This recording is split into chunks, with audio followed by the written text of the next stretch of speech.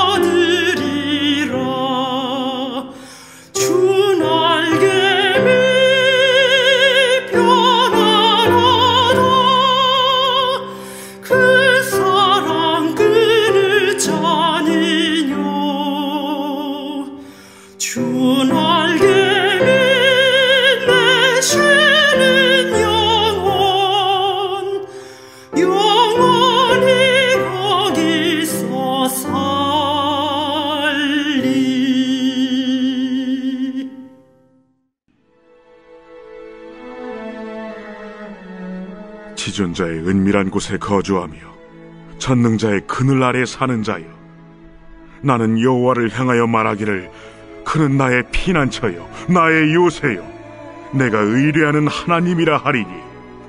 이는 그가 너를 새 사냥꾼의 올무에서와 심한 전염병에서 건지실 것이미로다.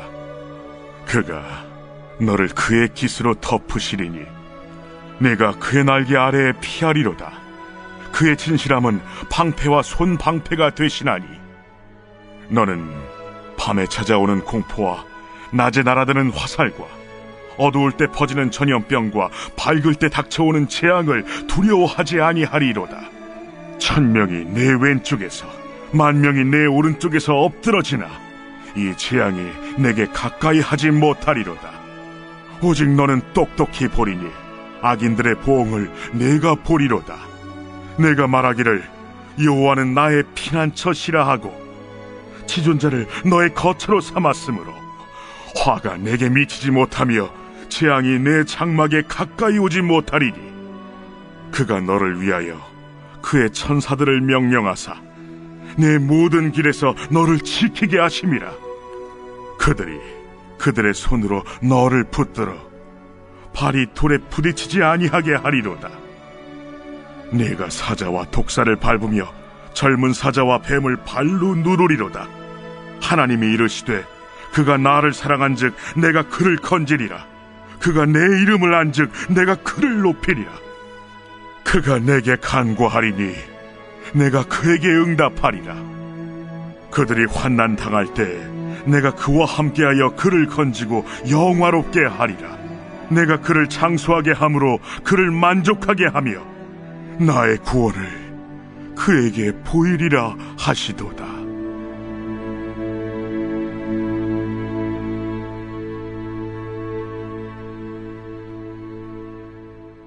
자, 오늘 함께 우리가 나눌 말씀은 시편 91편 말씀입니다.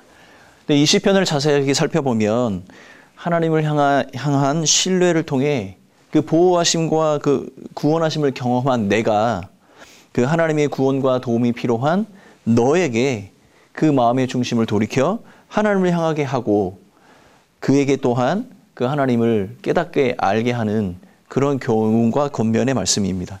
근데 특별히 1절과 2절 말씀을 살펴보면 어, 이 시편을 작성한 이 시인과 하나님과의 관계 속에서 일어났던 그런 경험들을 아주 자세하게 기록을 하고 있습니다. 1절 전체는 이 시편을 기록한 그 시인 그 자신을 소개하고 있습니다. 1절 말씀입니다. 지존자의 은밀한 곳에 거주하며 전능자의 그늘 아래 사는 자여. 자, 지존자의 은밀한 곳 그리고 전능자의 그늘이라는 아주 독특한 이런 공간을 우리에게 제시를 해주고 있습니다. 근데 아마도 이 두 곳은 하나님을 만날 수 있는 성전을 의미하는 그 은유적 표현이라고 할 수 있겠습니다. 이것은 어떤 세속적인 공간과는 다르게 그 안에서 하나님을 만난 자들은 모두가 구원을 받을 수 있는 안전한 곳, 보호를 받을 수 있는 곳, 그것을 의미하는 것이죠. 그늘이라는 표현은 은유적으로 왕의 보살핌을 뜻하는 말, 어, 말입니다. 사절에서는 그의 날개와 어, 어, 동일하게 사용을 하고 있는 것이죠. 어미새가 새끼를 품고 있는 그런 모습, 그 날개 아래 그 새끼를 숨겨 보호하고 있는 그 모습을 연상케 하고 있습니다. 이것은 그가 알고 있는 하나님을 통해 경험되었던 그 경험들을 은유적으로 이렇게 표현을 하고 있는 것이죠. 자, 시인은 그가 경험으로 알게 된 하나님을 지존자라고 부르고 전능자라고 부르고 있습니다. 이 뜻은요, 세상의 어떤 것과 비교할 수 없는 그 숭고하고도 탁월한 그 하나님, 어떠한 대적이 어떠한 모양으로 그 하나님을 대정, 어, 대적하고 음모를 실행할지라도 그 하나님께서는 아무런 영향을 받지 아니하시는 위대한 우리 하나님이신 것을 기록을 하고 있습니다. 그를 향하여서 어, 시인이 경험했던 것을 구체적으로 어, 고백을 합니다. 2절 말씀입니다. 나는 여호와를 향하여 말하기를 그는 나의 피난처요 나의 요새요 내가 의뢰하는 하나님이라 하니라. 자, 이 구절은 개인적으로 탄원하는 개인 탄원 시에 나타나는 전형적인 어떤 신뢰의 모형이 세 가지가 나오는데 첫 번째는 여호와는 나의 피난처가 된다는 사실. 두 번째는 나의 요새, 세 번째는 내가 의뢰하는 하나님이 되신다라고 이야기합니다. 이것은요, 분명히 이 시인이 과거의 어떤 사건을 통해서 자신이 경험되었던 그 하나님의 모습, 그 내가 신뢰할 만한, 나의 신뢰할 만한 대상이 되셨던 그 하나님을 향하여서 고백하고 있는 것이죠. 여러분, 고대 근동의 사람들은 이 성전, 이 성이라는 것은 단지 어떤 제사를 드리거나 하나님을 만나는 그런 예배하는 곳이, 아, 곳이 아니라 전쟁이나 어떤 도적의 위험 속에서 보호를 받을 수 있는 곳, 성 밖에 있던 사람들이 그 성전에 다 모임으로 보호를 받을 수 있는 가장 안전한 곳을 의미하는 것입니다. 그래서 주님은 나의 피난처가 되신다, 나의 요새가 되신다, 그가 내가 믿을 만한 하나님이 되신다라고 이야기하는 것은 그만이 우리를 안전하게 지키시고 모든 평안과 안식을 우리에게 주실 수 있는 유일한 하나님이며 우리가 그를 의지하고 의탁한다라고 고백을 하고 있는 겁니다.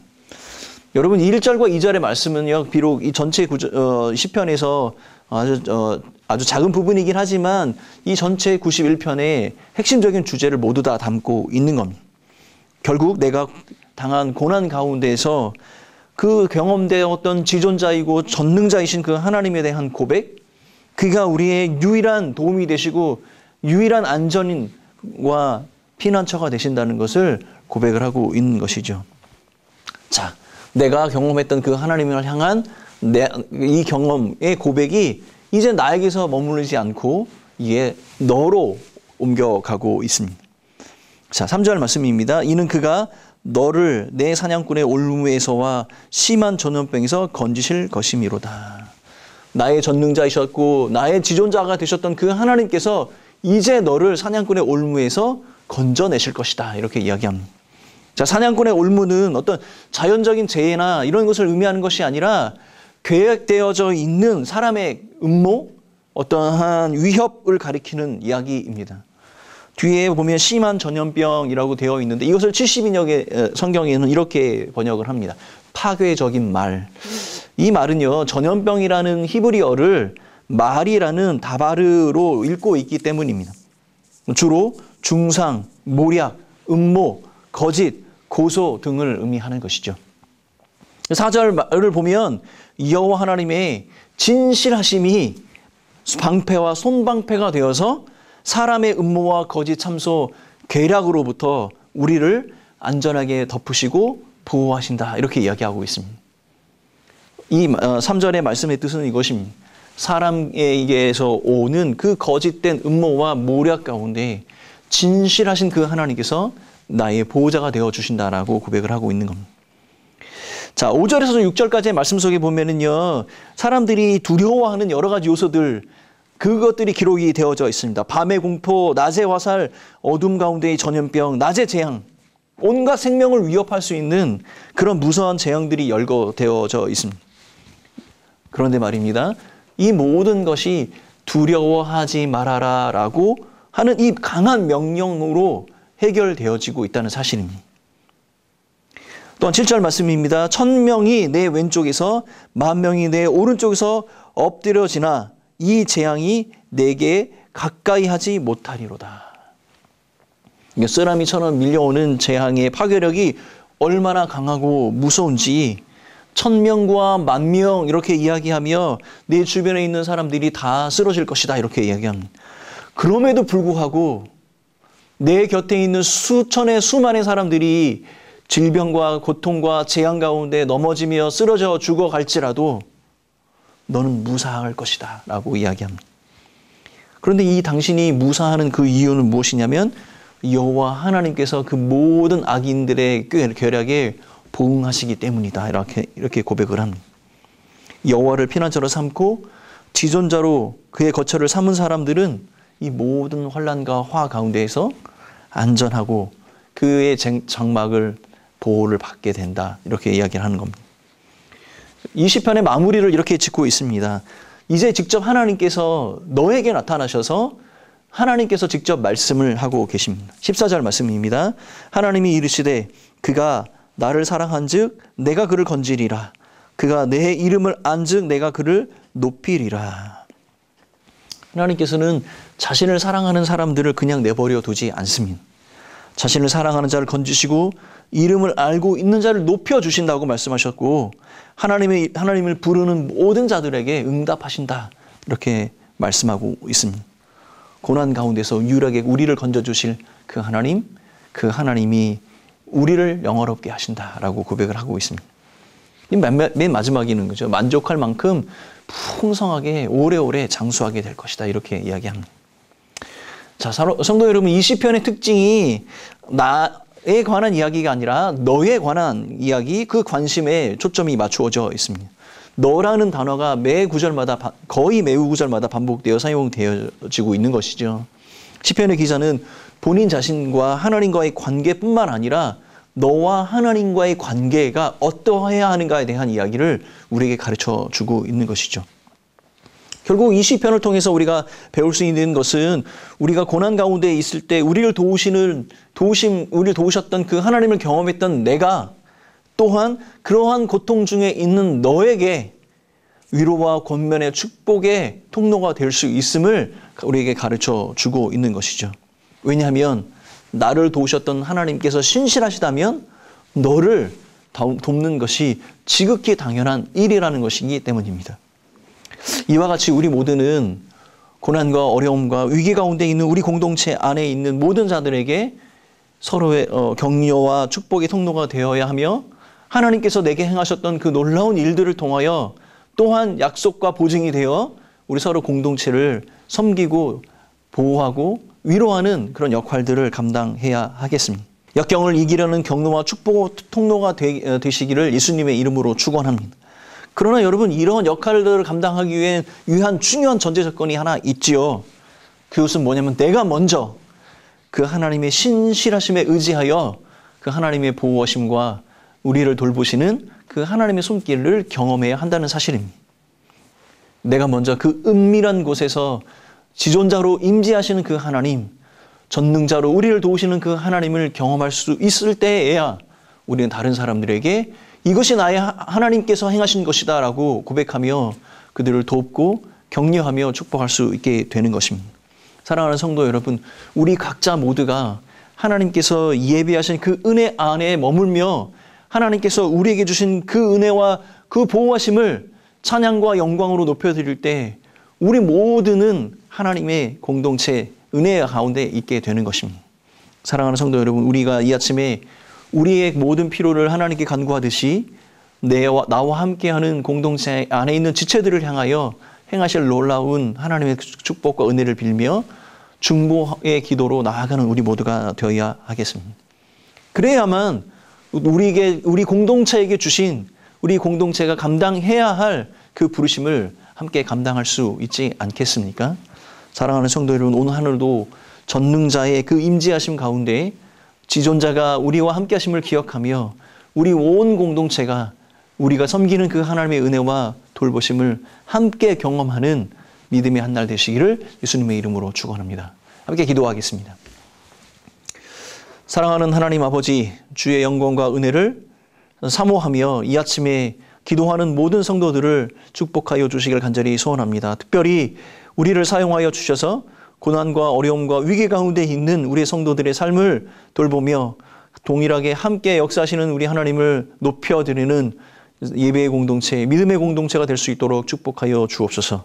함께 하실 그 하나님 기대하고 이 모든 말씀 예수님의 이름으로 기도하오며 지금은 우리의 구원의 참된 반석이 되신 예수 그리스도의 그 크신 은혜와 하나님 아버지의 사랑하심과 성령 하나님의 위로하심이 이 자리에 함께 머리 숙인 온 성도들과 교회 공동체 위에 영원히 함께 있을지어다. 아멘.